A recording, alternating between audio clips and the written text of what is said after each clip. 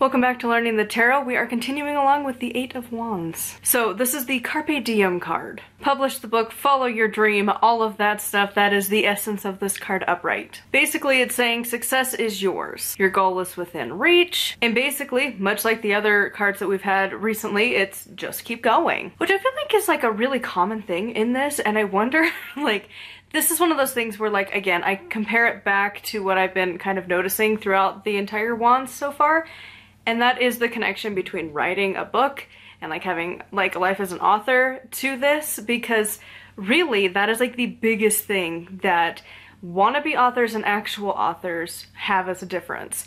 It is easy to want the dream. It is easy to even try here and there at the dream. But it's when you give up on it that you kind of you lose that title. You instead of being an author or you are an, a writer or whatever, it suddenly you want to be that thing. And it sounds really mean, but I've seen it happen so many times over the years. I've done it myself, where there's been plenty of times where I didn't feel like I should claim that title even though I had a book published. And I was like kind of working on one for a while. But now that it's like, no, I'm working on it actively, very consistently, and like I have attainable goals in getting there, like I can claim that title and it feels like so many of these previous cards, including this one, is like just keep going, which is like a big thing in the writing community. If you want to be a writer, if you want to be an author, you have to write. There is no other way around it. There is no shortcut. You have to sit down and write, whether it's by hand or if you type it up, whatever, you have to actually get the words on the page. If you don't, it's never going to happen.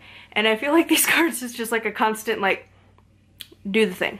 Just do it. Just do it. Just do it. Some are a little nicer than others in the way about going there, but the premise is the same. Like, the entire thing of wands seems to be leading up to this idea of like, just do it. Just follow your dream.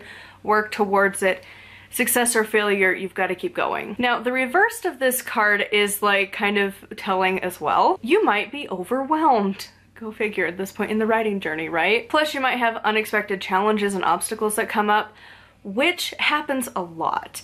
And that's something that I think anyone who has become their own boss probably has had to deal with, let alone in other spaces. But again, I'm using writing and being an author as the example for like throughout this entire thing. And so being an author, like inevitably like you've got your first or second or even like you know several books published so going along with our example at this point let's say that you've got the book published and now you're starting to like do this full time and you're like realizing how many distractions there are and how easily you can get derailed and it's like the acknowledgement of that is when this card is reversed. And a lot of authors will get to this point where they put too high of expectations on themselves.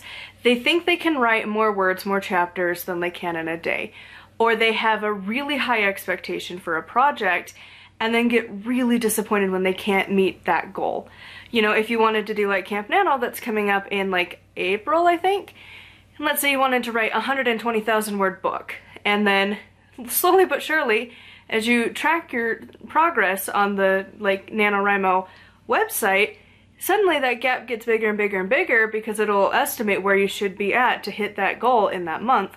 And then suddenly halfway through the month you're like, there's absolutely no way that I can do this, and you feel absolutely defeated. That's what this card reversed is like summarized as. Basically, if this card is reversed, this is the time to not force things and to just take it a little slower. You also might find yourself pretty disappointed in yourself and the lack of progress. Basically, this card is just reminding you to slow down, look around, and analyze where you're at. So I would love to hear what the Eight of Wands represents for you in the comments down below. Huge thank you to my patrons. I'll have their names here on the screen if you'd like to support me and get access to exclusive content. It is patreon.com slash nightwillowcrafts. Make sure to like and subscribe. I post every single day. And until next time, thank you so much for watching and blessed be.